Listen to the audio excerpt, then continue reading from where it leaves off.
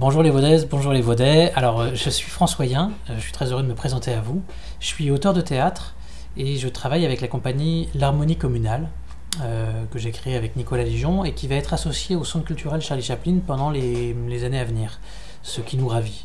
Alors, cette association, ça s'est fait parce que on est venu jouer La Crèche, la première pièce de théâtre que j'ai écrite.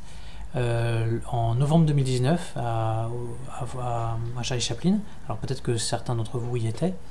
Et c'était une représentation qui s'était très très bien passée. Il y avait un, public très divers, euh, la salle était pleine et euh, bah, les réactions étaient très très chouettes.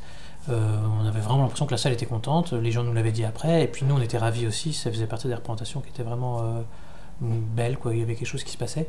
Et suite à ça, Audrey, qui, dirige le centre culturel Charlie Chaplin, euh, nous a proposé d'être compagnie associée au lieu pendant euh, quelques saisons. Euh, voilà, ben, on a accepté avec enthousiasme évidemment. Alors, bah, je vais vous présenter un peu ce qu'on va faire cette première année, qui est une sorte d'année de présentation. On va vous présenter dans, pendant l'année deux spectacles et demi.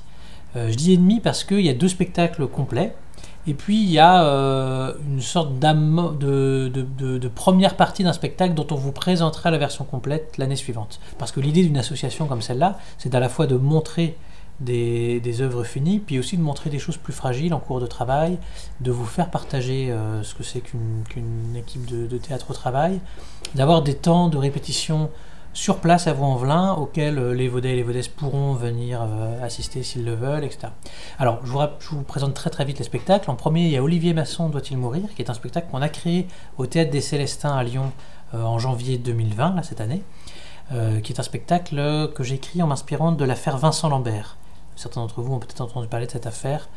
voilà, alors ça, on le joue en novembre.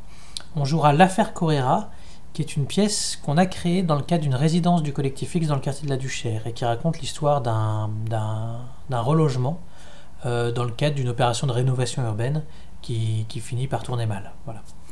Et puis euh, le spectacle ennemi dont je vous parlais, c'est La Honte, qui est un spectacle qu'on créera la saison suivante, la saison 21-22, mais dont on va vous proposer une sorte de première version qui peut se voir de manière complètement autonome.